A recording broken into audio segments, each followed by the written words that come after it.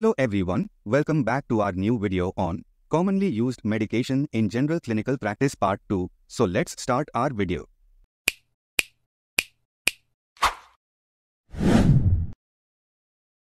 One, acetaminophen, used for pain relief and reducing fever, can be toxic in high doses. 2. Ibuprofen, non-steroidal anti-inflammatory drug used for pain relief and reducing inflammation, can cause stomach irritation. 3. Aspirin, used for pain relief, reducing inflammation, and preventing blood clots, can cause stomach irritation and increase bleeding risk. 4. Amoxicillin, antibiotic used to treat bacterial infections, can cause allergic reactions. 5. Lisinopril, ACE inhibitor used to treat high blood pressure and heart failure, can cause cough and low blood pressure.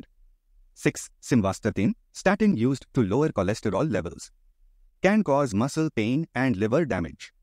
7. Metformin, oral medication used to treat type 2 diabetes, can cause gastrointestinal side effects.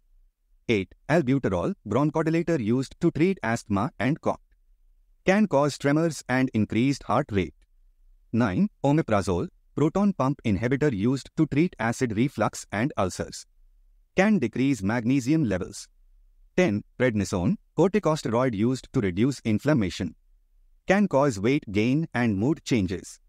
11. Hydrocodone, opioid pain medication, can be habit-forming and cause respiratory depression. 12. Levothyroxine, synthetic thyroid hormone used to treat hypothyroidism, must be taken consistently. 13. Metoprolol, beta blocker used to treat high blood pressure and heart conditions, can cause fatigue and low heart rate. 14. Warfarin, blood thinner used to prevent blood clots.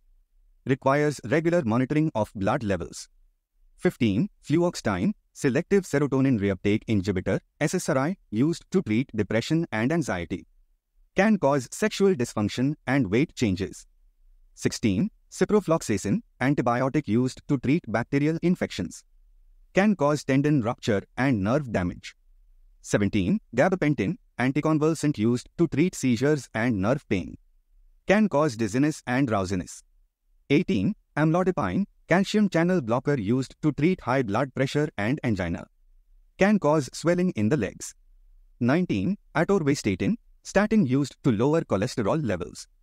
Can cause muscle pain and liver damage. 20. Metoprolol, beta blocker used to treat high blood pressure and heart conditions. Can cause fatigue and low heart rate. Bye.